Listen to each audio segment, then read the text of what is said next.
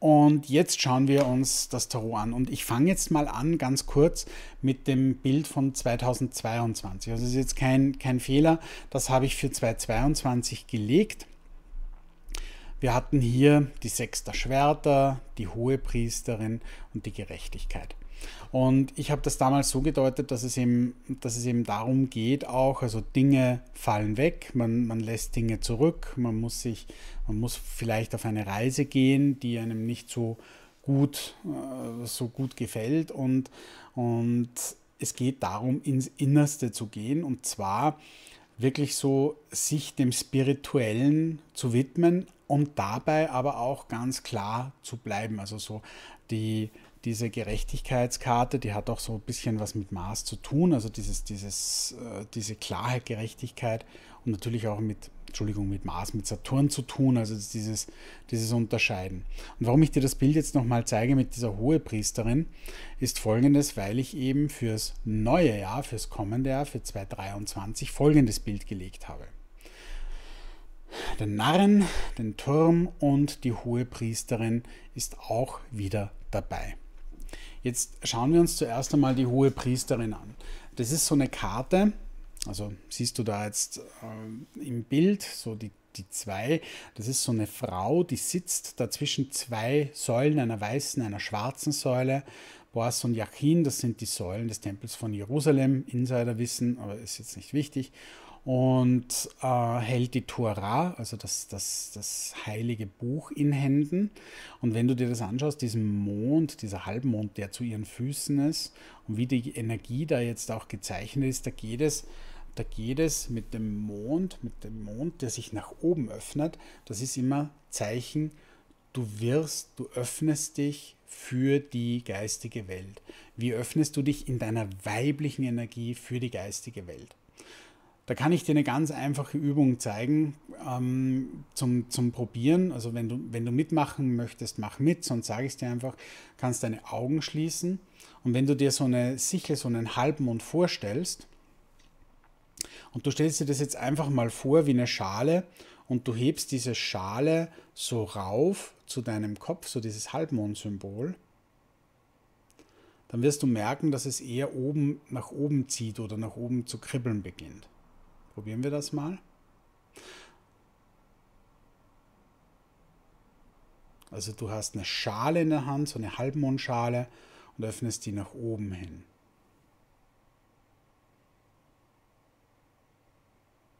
Sehr gut. Gut, dann atme mal tief ein und aus, nimm diese Schale und jetzt dreh diese Sichel, diese Schale quasi, diese Mondschale zur Erde hin, nach unten. Du drehst jetzt einfach die Schale um und hältst einfach die Schale nach unten.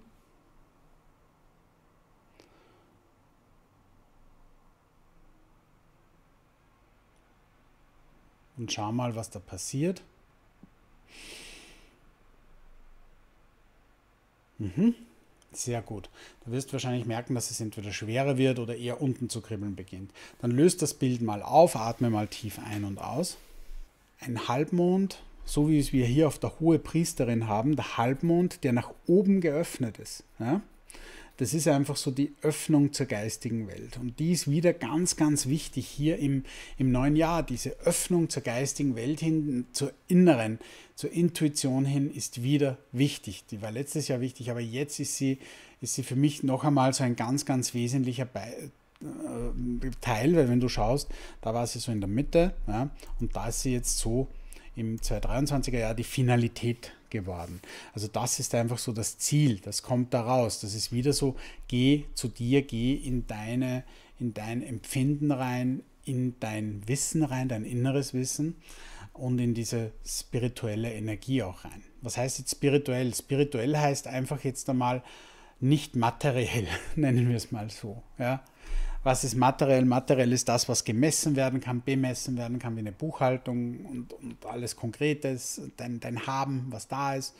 Und geh da mehr jetzt so in deine Intuition rein, zieh dich ein bisschen in dein Wissen zurück, in deine Klarheit zurück und prüf die Sachen, die da jetzt so auf dich zukommen. Schauen wir mal weiter im Jahr 2023. Was haben wir? Wir haben den Narren, den Turm und die Hohepriesterin. Und wie wirkt denn das mal für dich? Natürlich fällt da gleich mal so dieser Turm, also dieser, dieser, dieser Fall dieser Reichen, äh, wo der Blitz einschlägt. Also man, das ist natürlich schon so ein Symbol, wo ich sage, okay, da, da geht es schon mal um wahrscheinlich Inflation, um den Wandel der Werte, was ich schon gesagt habe mit Uranus im Stier. Und das ist nur dann so dramatisch, man stürzt nur dann so ab, wenn man sehr materiell geprägt ist. Also und das ist ganz, ganz wichtig. Prüfe dich, wie materiell bist du geprägt und wie frei bist du wirklich. Denn der materielle Druck wird größer, aber dieser materielle Druck ist kein echter Druck, ist kein Druck, der dich wirklich, wirklich beeinträchtigen kann, wenn du klar bleibst, wenn du unter dem Schirm des Höchsten bleibst im Schatten des Allmächtigen, wie es im Psalm 91 heißt, so wird kein Unheil dich treffen. Und das ist das Wesentliche. Bleib in deiner Intuition und du wirst anders durch diese Krise gehen.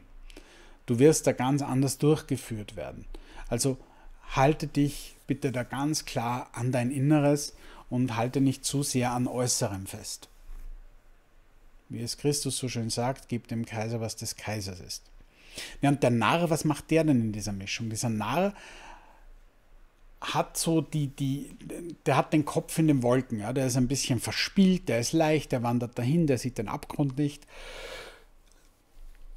Der Hund warnt ihn, aber trotzdem geht er weiter und da wird dann immer gesagt, auch wenn er weitergeht, der wird nicht abstürzen, weil der einfach so spielerisch unterwegs ist, weil der halt einfach alles nicht so ernst nimmt. Und das wäre für mich so die Einladung, Humor, also flankiere diese Krise, ich nenne das jetzt mal so, flankiere diese Krise mit Humor und mit Intuition und dann wirst du unschlagbar sein, dann bist du ganz klar, ganz in deiner Kraft und dann, dann wird dich diese Not nicht so treffen. Also nur weil es heißt, die Not kommt, das heißt nicht, dass die Not dich so trifft. Das ist wieder individuell. Und Energie fließt immer weiter. Das ist nicht das Ende sondern es geht weiter und ich denke, dass das auch wichtig ist, um neue, eben neue Visionen zu schaffen. So wie ich jetzt hier sitze und da diesen Stream mache. Das ist aus der Not geboren, aber das ist nichts Schlechtes. Das ist auch kein Drama, da weine ich auch nicht, sondern ich bin froh, dass es jetzt so passiert ist. Ähm, und genau diese, diesen Wandel wünsche ich dir auch. Und ich denke, dass das auf uns zukommt. Ja? Auf jeden Fall bleib, bleib einfach am Ball. Und wie kommt man am schnellsten durch Krisen? Indem man nicht stehen bleibt und deshalb niemals stehen bleiben. Tschüss und alles Gute. Danke.